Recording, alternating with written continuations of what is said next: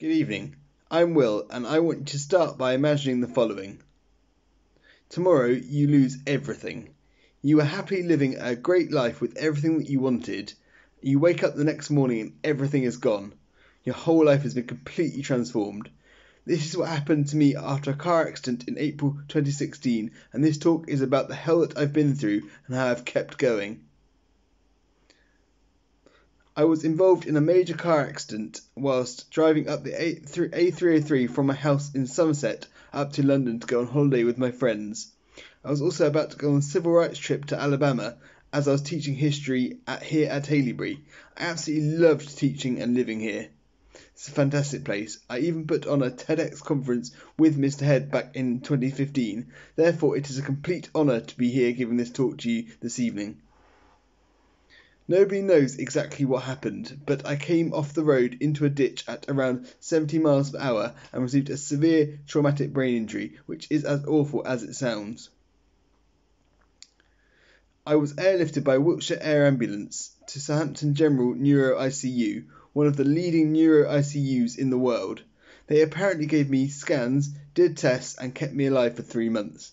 I was in a coma for the whole time I was there, I had approximately eight bleeds all over my brain, which is like having eight simultaneous brain hemorrhages. Injuries just don't get as serious as mine. The doctors didn't know if I'd live for about 11 days, and if I did live, whether I'd be a vegetable for the rest of my life or not.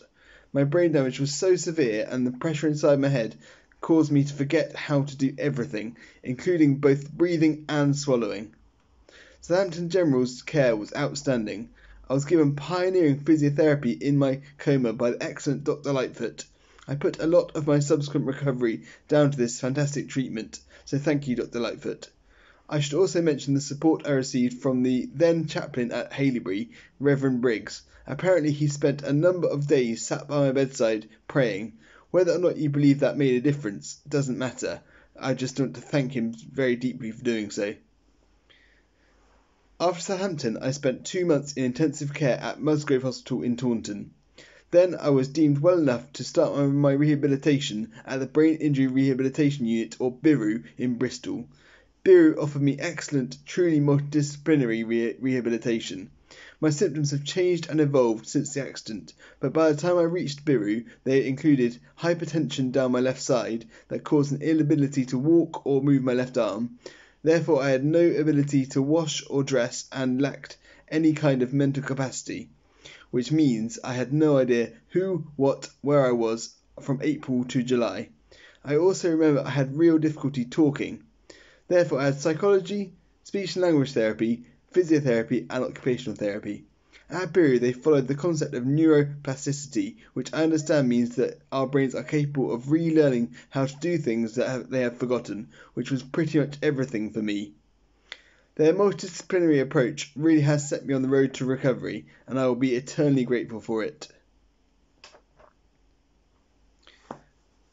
I recovered my mental capacity on Revelation Monday, as I've always known it. I had what's known as post traumatic amnesia, where I might be awake and talking, but I had no idea who I was or why I was there. I was living some parallel realities based on my memories of the previous years. I was fighting the War One trenches. I was at the house I grew up in, and I was playing tennis against Andy Murray at Legends. He beat me though. I would argue with my friends and family endlessly that this is what I was doing. This passed on Revelation Monday as I've always known it. The day I woke up and realised who I was and why I was in hospital. Also, I learned that Brexit had happened, so the world had changed a lot. My road to recovery has been st- started on the, in earnest on this day, and I had the ability to make new memories from this point onwards. Since I've had mental capacity, I have been completely determined to make as good a recovery as possible. First of all, I can remember being completely determined to walk again. I remember pushing myself day after day, first standing up with a frame, then walking down the corridor with the frame. Eventually, I remember walking outside with a stick for the first time. This was an incredibly proud moment. Then I continued to do physio, physio exercises. Then, when I was discharged, being double the number of ex- doing double the number of exercises recommended by my physio every day for the first two years in an attempt to rectify my limp. I still do some exercises today. I remain completely determined to walk without a limp one day. Particularly since COVID, it has been increasingly common for people to value the NHS. The excellence of my care throughout the seven months in hospital has made me incredibly, incredibly grateful for our wonderful NHS. For the first four years on release from my hospital, I lived with my mum and her husband Clive in Ilminster in Somerset, a place I had only visited before but I now lived in. Mum was incredible during my time in hospital. She literally moved to Southampton General Hospital. When I was released, my family were excellent and all very understanding of somebody living with somebody who had received such an awful injury. They made adjustments to the house, and Clive even accompanied me up the stairs whenever I needed to go up. I continued to receive very good multidisciplinary care from the Somerset CCG's early release team. I was completely determined to make to live as normal a life as possible, but uh, even going shopping was for the first time was an enormous achievement. That in fact this came up as a Facebook memory the other day. Five years ago, it said, "I can now go into town whenever unaided, whenever I want. What an achievement!" This is what seemed to be completely insignificant to everyone else, but was enormous to me. This is an example of where I really appreciated everyday things that I had previously taken for granted. There are plenty more examples, such as going for lunch with my nan, going to the pub, or even watching Eurovision for the first time. I now take absolutely nothing for granted because I know just how lucky I am to be able to do anything.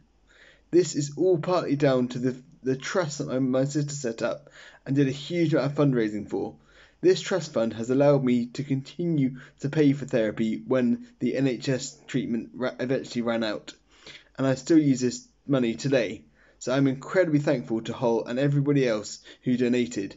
I should also thank Cole for putting, putting me in touch with an excellent care team and the, the, the money she raised helped to pay for, and for generally just being such a fantastic sister. The other thing that this story brings up is how brilliant Facebook memories have been for me all the way through my recovery. Lots of, of these are something to do with my, the quizzes that me and my dad started doing in Ilminster, which were a great way of me meeting people and involving myself in the new community. I basically get the, the story of my recovery told to me through this feature. I often look at it and feel a real sense of pride, especially because my memory of the first two years or so is very hazy. I may have recovered my mental capacity, but now my memory of the period is very poor indeed. My occupational therapist, or OT, said to me that my determination is the main reason I've made such a great recovery. One of my biggest targets has always been to live on my own again, which I finally achieved last year. After four years of living with Mum and Clive, I moved to my dad's house, which was lovely, Dad has been incredible ever since the accident and has always tried to treat me as normally as possible. By February 2021, I was ready to move out from either my parents' houses for the first time, and so I moved to a town near where I was working and my girlfriend happened to live. I now live in that town and I completely independently, which is an enormous achievement because my injury almost completely took away my ability to do so. I am only too aware of just how lucky I am to have such a wonderful, supportive family. I have learned the, an incredibly hard way just how how much my family love me. They have all been fantastic in their own way. I could tell you a huge number of stories, but will spare you them this evening. My friends have also been fantastic. Now I understand just how valuable they all are, and I will never ever take any of them for granted. Just think of your friends, some of whom might be sat around you now.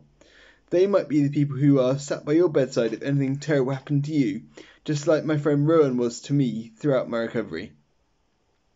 I have been completely determined to return to work ever since my time at BIRU, where I had a visit from Bill Irving, my then housemaster at Haileybury, as I was working. I will never forget this visit, partly because he brought Rosie along. I remember him telling me that all the kids missed me and were asking about me, which made me always want to return to do everything I possibly could do to work with kids again. Therefore, around a year after my accident, I started volunteering as a TA and a teacher part time at the local school in Ilminster. Mark, the head teacher, was absolutely phenomenal with me, and year and about a year after arranged me to have an interview for a paid TA role in another local town, a job I secured as a humanities TA. Doing paid work in a school was absolutely incredible, just three and a half years after my terrible injury. Whilst there I grew in confidence and found my fatigue reducing. Therefore, amongst lots of other things, I applied for my first teaching job since the accident as a maths teacher at a school in another local town. I managed to get this job part time, which was very much I very much enjoyed initially. However, being a teacher again was tough, particularly as a maths teacher, something I hadn't been for about five year, four or five years. Therefore, this maternity cover job didn't go as well as I hoped it would. From here, I started working at a school that my dad has worked at for nearly 40 years. I very much enjoyed working there in two different roles, temporary roles, including one as a personal learning teacher and one as a maths tutor. Unfortunately, my contract expired there in June 2021, so I had to apply for many other jobs. One of these was a job was a specialist at a specialist autism school in Poole. Here I became a permanent maths and humanities teacher. I absolutely love teaching here. The class sizes are very small and both the leadership and the TA support are excellent, which benefits my fatigue, which is a, still of slight concern of mine. Fatigue has been my main barrier all the way through my recovery. In the first year or so after the accident, I used to take two or three naps a day, and I felt very groggy whilst not in bed. This has steadily reduced, and now I take one nap a day after work. This allows me to be uh, both teaching both maths and humanities at my school well, and is tremendously enjoyable. Finally, being a permanent member of staff at a school is an unbelievable feeling. In summary, my progress has been extraordinary in every regard. I put this down to both determination and fantastic support. My message to you this evening is simple.